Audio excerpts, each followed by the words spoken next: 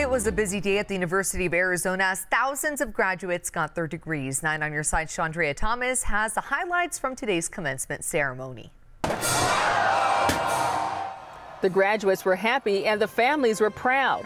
Nearly 8,000 people graduated from the University of Arizona in the class of 2022. I'm so excited. Like I honestly, I don't, I, have, I don't have words for it because I've been waiting for this for a long time, and my dream came true today. More than 4,600 signed up to attend Friday's commencement ceremony, causing traffic jams near Arizona Stadium. I'm very proud of myself, and I couldn't have done it without my family.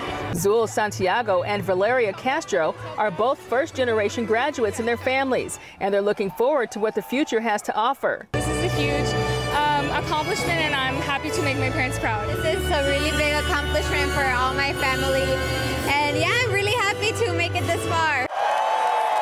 As the cheers continue, so will the bright outlook for these graduates as they make their way into the workforce. It's what Wildcats do every day. And for anyone looking to get their degree, follow your dreams, use your resources. There's so many ways to get help. That's how I was able to do it. So look for those opportunities. An experience that I'll never forget. Chandrea Thomas, KGUN 9 on your side.